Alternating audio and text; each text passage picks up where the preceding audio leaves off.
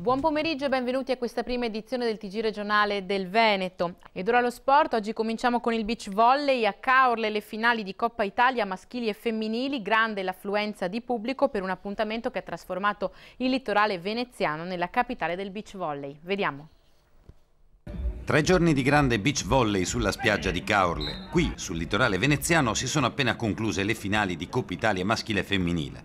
Il weekend appena trascorso ha visto trionfare nella Peter Pan Arena tra gli uomini la coppia Marco Caminati ed Enrico Rossi, già campioni d'Italia in carica, mentre tra le donne Eleonora Gili e Silvia Costantini.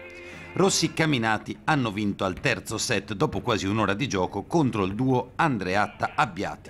In svantaggio, dopo il primo set, i campioni in carica hanno rovesciato il risultato nei due set successivi.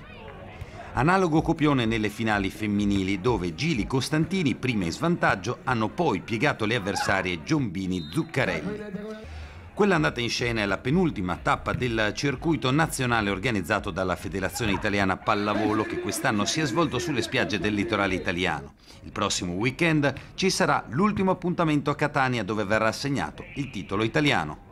È tutto, il telegiornale torna come sempre alle 19.35. Grazie per essere stati con noi e buon pomeriggio.